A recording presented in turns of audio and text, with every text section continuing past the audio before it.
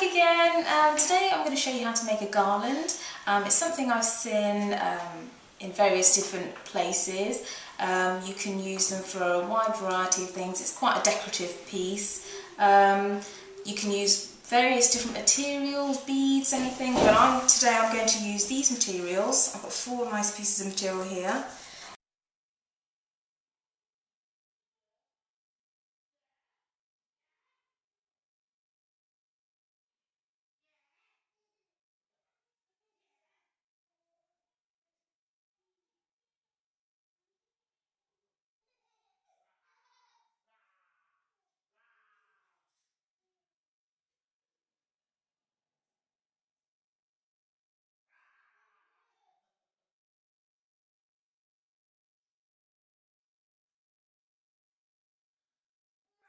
Um, you can get ribbons and the material from any kind of uh, fabric shop.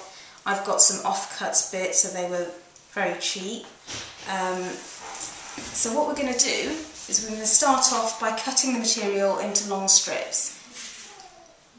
I'm doing them at 80 centimetres um, in length, so when you double them over they'll be 40 centimetres drop. So here goes. We'll start off with this cream one. Now I bought half a metre of this material. I've cut some strips already.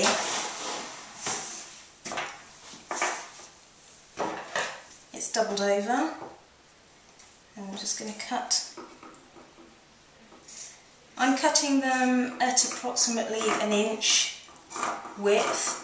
They don't have to be really neat because the jagged edge actually makes the garland look quite shabby chic looking.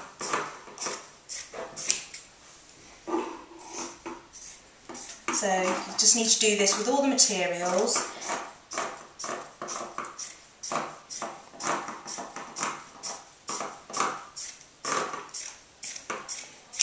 And then do the ribbon the same length as well.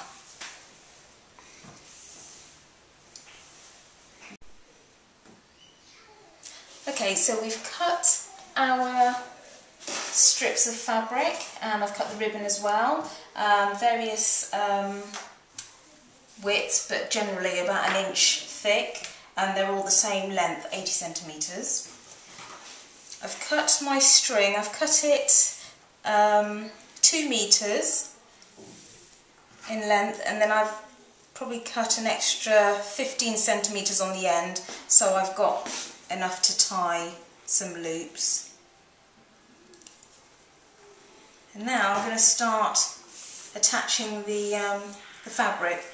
What I, what I find easiest to do is if I find the, um, the centre and just place two heavy books on each end just to keep it tight. And then I'm working with this bit here. And then I just pick whatever fabric I choose. So you've got your 80 centimetre fabric, bend it in half,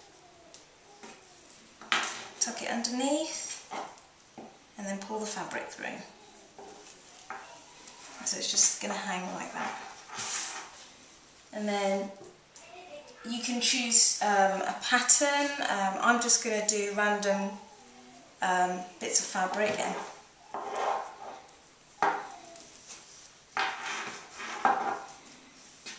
put them close together like that.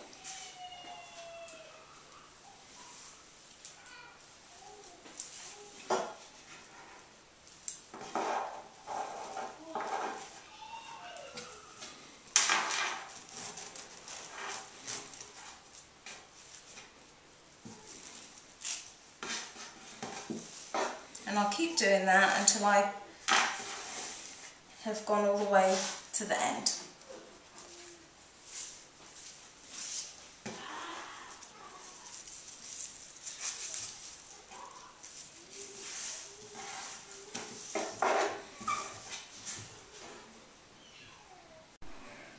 Okay, so I've done, um, it's less than a metre so far, and that's what it's looking like.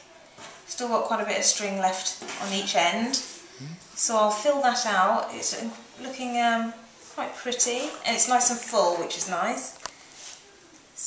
So I'll continue until I've used up all my bits of material and then I can show you how it looks hung up.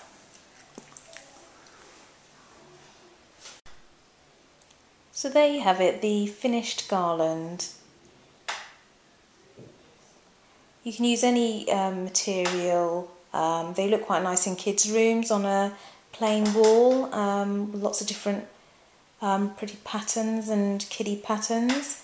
I think they also work quite well using the different textures of fabric. Um, I've got some coarse and some jersey and some satin material as well.